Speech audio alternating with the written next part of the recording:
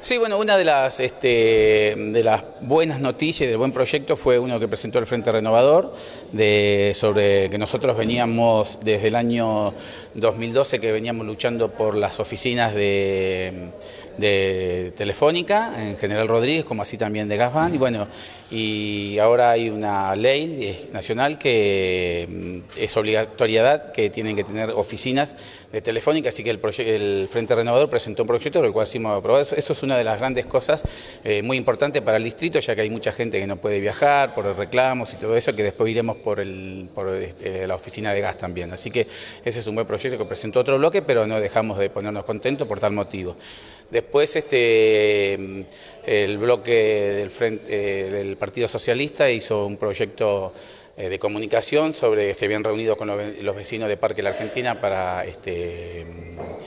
eh, por el, hay una obra de cloacas y de agua y este bueno eh, aparentemente está es parada y bueno los vecinos se reunieron con los concejales eh, de socialismo y como hoy no estuvieron en la sesión me pidieron si lo podía leer yo, lo cual lo leí, fue aprobado también para ver el motivo por el cual se detuvo la obra, en qué condiciones está, cuándo se va a seguir, la contención de, los trabajos de, realizar, cuándo lo van a iniciar, el monto que salió, así que es, es una comunicación muy importante, la cual este, bueno, en la brevedad nos, contestarán y, este fue un, un proyecto importante que presentaron ellos.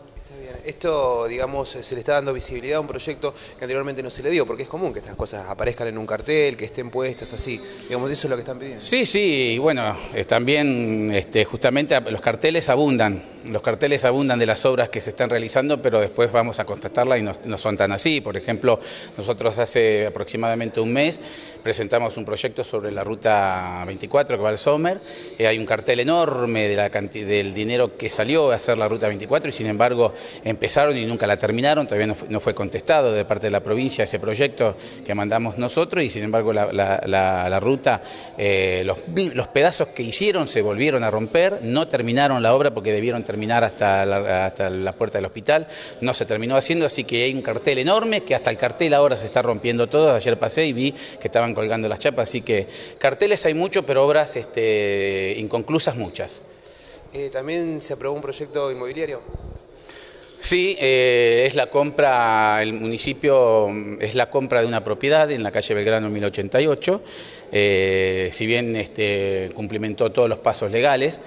eh, sobre lo, que, lo que pide la ley orgánica de las municipalidades en su artículo 156. Eh, los pasos están cumplimentados como corresponde. Eh, yo pedí, si bien salió todo por unanimidad, yo pedí que permanezca en carpeta porque estaba esperando una información que todavía no me llegó, pero este, fue aprobado por el resto de los concejales presentes. Está bien, eh, digamos, legalmente está todo en orden, simplemente es eh, pedir un informe. Sí, eh, legalmente los pasos están cumplimentados como corresponde. Los responsables del área ya dieron su visto bueno, han venido de la misma policía de la provincia a mirar la, la, la, la casa que va a ser la comisaría de la mujer. legalmente está todo cumplimentado. simplemente a título personal estoy esperando una información y por eso pedí que quede en carpeta, pero los pasos legales están y salió la compra de la propiedad que este, también están, no hay que dejar de, reconocerlo, están también las ofertas inmobiliarias eh, que fueron hechas, así que los pasos están completos.